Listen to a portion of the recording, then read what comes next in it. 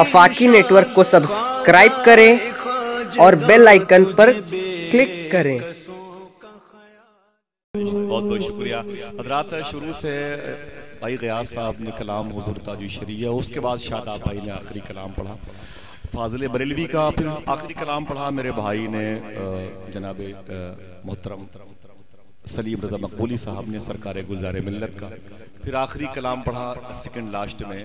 جناب محترم حمزہ اسماعیلی نے رئیس القلم علامہ ارشد القادری کا۔ یہ آخری کلام پڑھا گیا اس محفل نات میں۔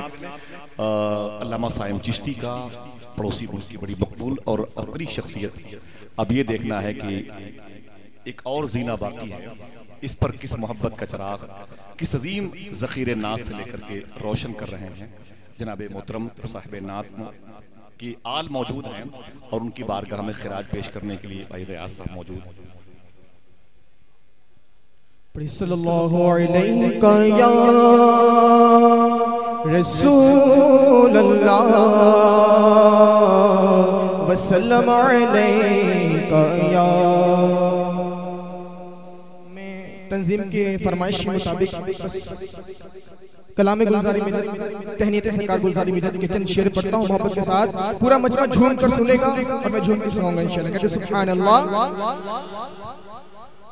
آلے نبی آلے نبی آلے نبی آلے نبی خون خاتون جنجنا گلزار ملنا گلزار ملنا آلے نبی خون خاتون جنجنا گلزار ملنا گلزار ملنا ہے ناشیر مسئلہ کے آلہ حضرات ہے ناشیر مسئلہ کے آلہ حضرات گلزار ملنا گلزار ملنا دونوں ہاتھوں کو قسم اللہ رکھے دے گلزار گلزار گلزار گلزار گلزار گلزار سبحان اللہ یہ شیر دیکھیں آشا ساتھ سارا جہاں عاشق مصطفیٰ ہو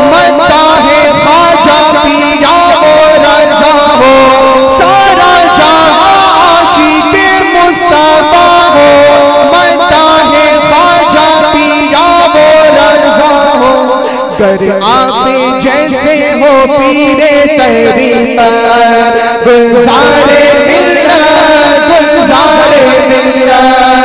گر آپ جیسے ہو پیرے تحریمہ گلزار ملنا گلزار ملنا۔ گلزار ملنا گلزار ملنا۔ گلزار ملنا گلزار ملنا۔ بھائی رضا صاحب کے لیے خوبصورت یہ لمحے ساتھ یہ محترم لمحے عشق ساتھ مستجاب ہے۔ لیکن جو کلام پڑھ رہے ہیں، مجھے معلوم ہوتا ہے اس کلام آپ کے ذہن کی ڈائری میں لائبریری میں محفوظ ہے۔ تو اس وقت اس کلام کو ہم پورا سنتے، جس وقت ممبر شریف پر حضور سرکار گلزار ملت نہیں تشریف لاتے۔ اپنی موجودگی میں جب میں نعرے لگاتا ہوں کسی دوسرے شیخ کے بارے میں، تو حضور سرکار گلزار ملت میرے ہاتھ سے مائک لے کے بریلی کے تازداروں کے نام کے نعرے لگاتے ہیں۔ تو جسے اپنی موجودگی میں اپنی تعریف پسند نہیں۔ میں مزاج جانتا ہوں، لیکن خوشخبری آپ سب کے لیے کہ آج تقریباً نو، سوا نو بجے سے محفل نعت شروع ہوئی ہے اور تقریباً اس وقت آپ گھڑی میں دیکھیں تو وقت کتنا آگے بڑھ گیا اور دشمنوں کی اوقات بھی سمجھ میں آ گئی۔ بڑی مقبول محفل رہی۔ میں اس کے لیے تنظیم پاسبان حق کے تمام تر کارکنان کو بہت بہت مبارکبادیاں پیش کرتا ہوں۔ آئیے بارگاہ حضور جد سرکار گزار ملت میں ہدیہ سلام کی تبریک پیش کریں اور پھر دعاؤں کے عریضے کو ان کی